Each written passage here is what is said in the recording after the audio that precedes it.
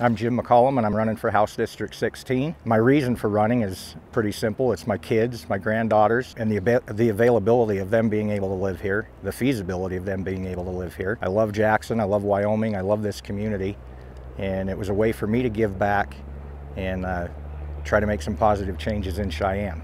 We haven't had a voice in Cheyenne for a long time, and I think I can be an effective voice. Some of my favorite memories uh, growing up, early teens, was fishing with my dad on the river, and those are priceless. You can't get those back. We, have got to protect the waterways, and we've got to do a better job of communicating what's happening and find, finding solutions to, to keep them to keep them safe and pure.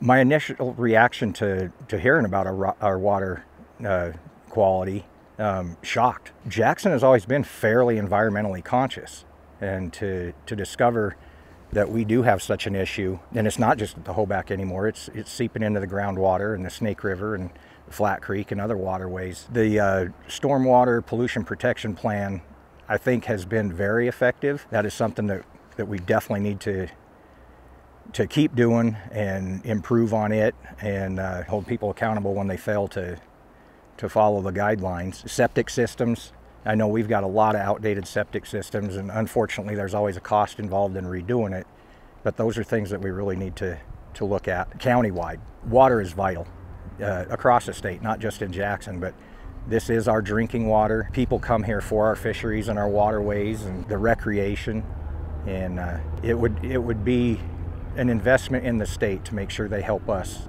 take care of our water. But I think it's our infrastructure, it's vital to take care of that, especially the outdated, outdated sewer system.